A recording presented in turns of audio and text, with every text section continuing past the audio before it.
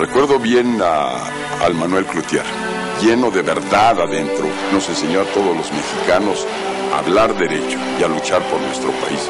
Oye, Fox, me dijo, todos en este país vivimos quejándonos del gobierno corrupto, de la falta de oportunidades, y sin embargo no hacemos nada para remediarlo. Él me lanza un reto, que yo le lanzaría a todos los mexicanos. La gente, los ciudadanos, tenemos que construir un país exitoso y triunfador a la entrada del siglo XXI. ¿Acaso creen que no tenemos memoria?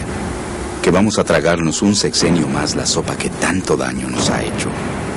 No, porque los mexicanos dispuestos a despertar somos mayoría. Por el nuevo México, el de la gente de verdad. No conozco una sola historia de éxito que no empiece con una revolución educativa.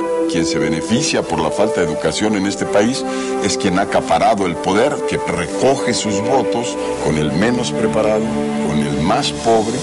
Mientras no equipemos a cada chiquillo y a cada joven con un elevado nivel educativo, no habremos de alcanzar el país que queremos.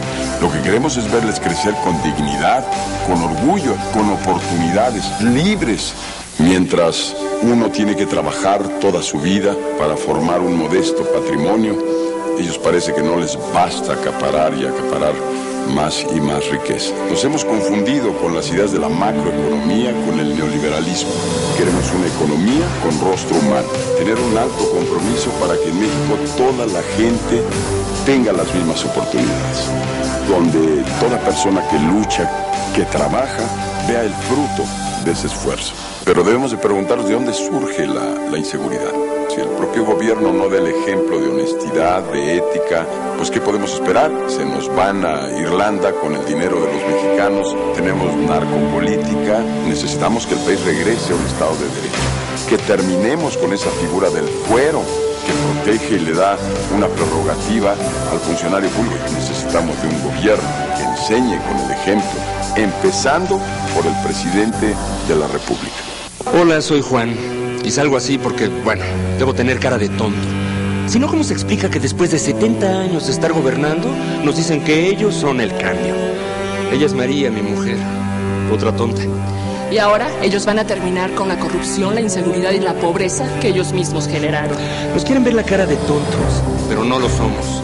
El 2 de julio vamos a volver a mirar hacia adelante en México. Porque ya somos la mayoría los que sabemos toda la verdad. Y cada vez somos más. En Pachuca, primero vencimos las trampas del nuevo PRI y el voto de la mayoría ganó. Ahora, el Pachuca, contra todos los pronósticos, es el nuevo campeón del fútbol mexicano. ¿Ves cómo ahora ya se puede? Alianza por el Cambio. Vicente Fox, presidente. Ya, ya, ya, ya, ya, ya, ya, ya, ya, ya, ya, ya, ya. Ya, ya, ya, ya, ya. Ya, ya, ya, ya. Ya, ya, ya, ya, ya, ya, ya.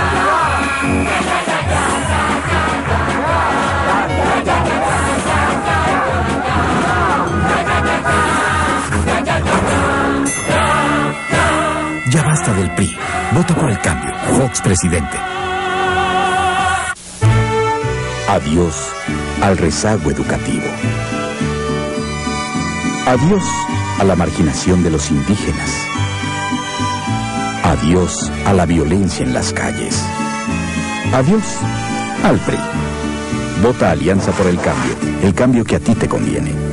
Si dividimos los ingresos anuales de Pemex entre 100 millones de mexicanos, nos tocarían 3 mil pesos a cada uno. ¿Usted ya los recibió? Ya, se no hay nada. Nada. ¿No? ¿Cuáles? No. Nada. Nada, nada.